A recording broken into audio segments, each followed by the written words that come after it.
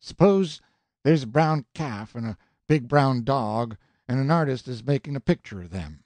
What is the main thing that that artist has got to do? He has got to paint them so you can tell them apart the minute you look at them, hain't he? Of course. Well, then, do you want him to go and paint both of them brown? Certainly you don't. He paints one of them blue, and then you can't make no mistake. It's just the same with the maps. That's why they make every state a different color. It ain't to deceive you, it's to keep you from deceiving yourself. But I couldn't see no argument about that, and neither could Jim. Jim shook his head and says: "Why, Mars Tom, if you knowed what chuckleheads dem painters is, you'd wait a long time before you'd fetch one er dem in to back up a fact I's gwine to tell you. Den you can see for yourself. I see one of 'em paintin' away one day down in old Hank Wilson's back lot, and I went down to see, and he was paintin' dat ole brindled cow wid de near horn gone you knows de one I means. And I asked him what's he's painting her for, and he says, when you git her painted, de picture's wuth a hundred dollars. Mars Tom, he could 'a' got the cow for fifteen, and I tole him so. Well, sah, if you'll believe me, he just shook his head, dat painter did, and went on a daubin'. Bless you, Mars Tom, dey don't know nothin'.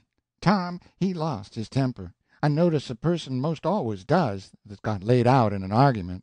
He told us to shut up, and maybe we'd feel better.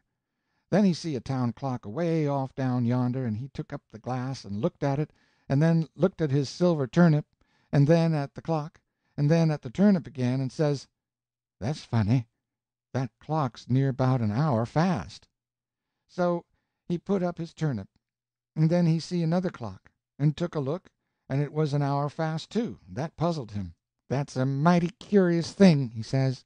"I don't understand it." Then he took the glass and hunted up another clock, and sure enough it was an hour fast too. Then his eyes began to spread, and his breath to come out kinder gaspy like, and he says: "Great Scott, it's the longitude!" I says, considerably scared, "Well, what's been and gone and happened now?" "Why, the thing that's happened is that this old bladder has slid over Illinois and Indiana and Ohio like nothing, and this is the east end of Pennsylvania or New York, or somewheres around there. Tom Sawyer, you don't mean it!" "Yes, I do, and it's dead sure. We've covered about fifteen degrees of longitude since we left St. Louis yesterday afternoon, and them clocks are right. We've come close on to eight hundred miles."